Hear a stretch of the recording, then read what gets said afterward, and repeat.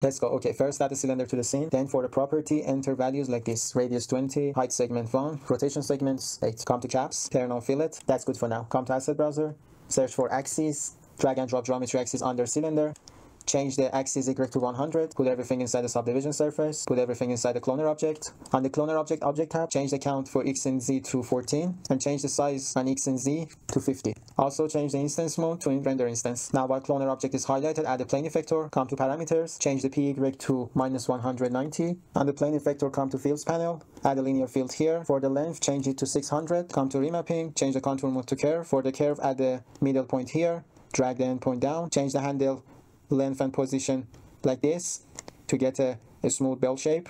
That's okay for now. It's a good idea to save the file. I saved the file with name elusive cylinder v1.1 live. Now let's add a sphere here.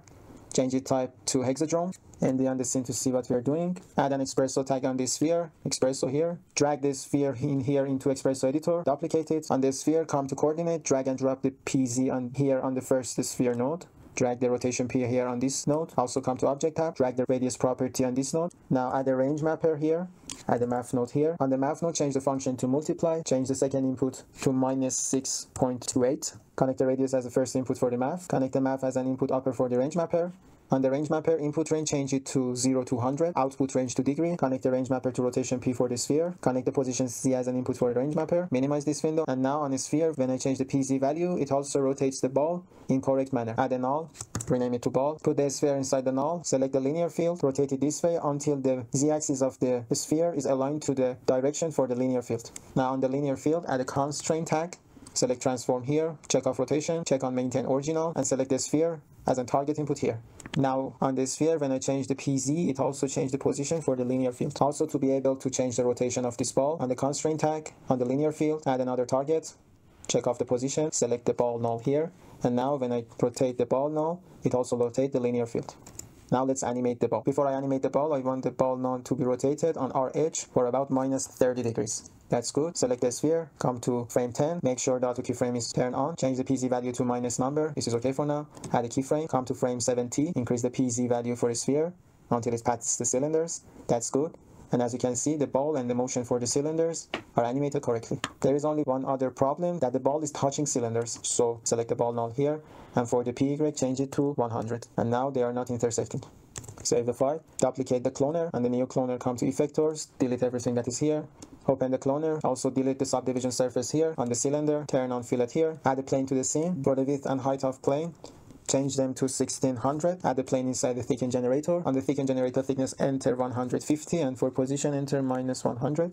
Turn off the first cloner for now, add the volume builder to the scene, change its voxel size to 2, then add the cloner and the thicken on the voxel builder in this order. First add the second cloner, then add the thicken under it. Now on the volume builder, change the order of these two. We want the second cloner to be at the top, change the mode to subtract here. And on the second cloner change the instance mode to instance. Open up this cloner come to geometry axis change this axis degree to something like minus 95 okay? And now we have holes in the ground. For saving some processing power on the volume builder turn off auto update setting. That's better for now.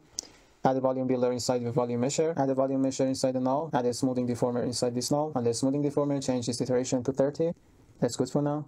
Save the file. Now turn back on the first cloner, you see the result, that's good. Now let's add a camera, change this focal length to 120, add a new panel here, change it to RS camera, and adjust the position of the RS camera on this new panel. I'm happy about this frame.